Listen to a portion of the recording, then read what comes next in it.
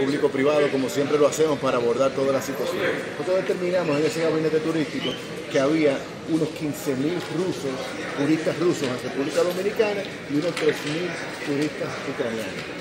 Lo que hicimos inmediatamente fue hablar con los turoperadores que manejan esos clientes e identificar en qué hoteles estaban. Ese levantamiento ya nosotros lo hicimos. Entonces, desde Azonadores nosotros garantizamos que todos los turistas permanezcan en sus hoteles. De hecho, nosotros tomamos la decisión ayer de prolongar esa estadía hasta el día lunes. De manera que hoy, incluso que vamos ahora al segundo gabinete de, de, turismo, determinar cuál va a ser la solución a mediano plazo. En el caso de los rusos, hay vuelos de repatriación que están todos los días pues llevándose en los clientes en la medida de lo posible. En el caso del ucraniano, como ustedes saben, pues el espacio aéreo de Ucrania cerrado, de manera que es una realidad diferente. Lo que nosotros hicimos con ese grupo de clientes fue determinar la necesidad de cada cual. Hay algunos de esos ciudadanos de Ucrania que tienen familiares en otros países de Europa, Estados Unidos, y lo que vamos es facilitar que esas personas vayan hacia allá.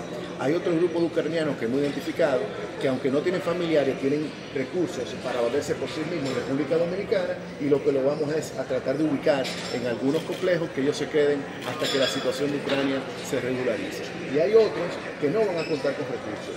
Y eso sí, nosotros como país pues, vamos a tener que buscar una solución eh, hasta tanto la situación en Ucrania esté. Y mientras tanto, ¿dónde van a estar los que no tienen recursos? Los que estén, lo que, aquellos turistas que no tengan los recursos para valerse por sí mismos, pues nosotros vamos a tener que buscarle un albergue. Eh, ¿Cuál va a ser el tiempo? No sabemos. Acuérdense que también esto es una situación internacional.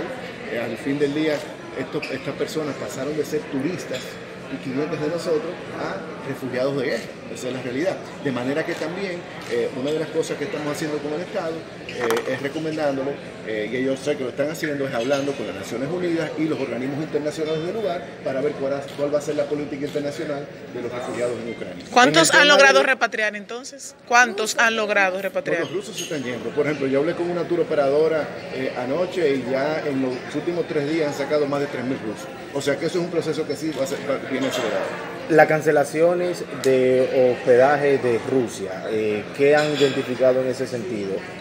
Ahora? Rusia eh, este año va a representar alrededor del 10% de la llegada a República Dominicana, de manera que es un mercado importante. Sin embargo, nosotros lo que estamos haciendo conjuntamente con el Comité Público-Privado de Mercadeo que dirige el Ministro de Turismo es ver cómo nosotros suplimos esa demanda que va a bajar con otros mercados. Por ejemplo, nos estamos enfocando en Canadá, que era un mercado que hasta ahora estaba bastante restrictivo, sin embargo que ya aperturó. De manera que estamos redoblando los esfuerzos con Canadá, redoblando los esfuerzos con eh, América Latina y el resto de Europa para que eso no tenga un impacto negativo sobre el turismo dominicano.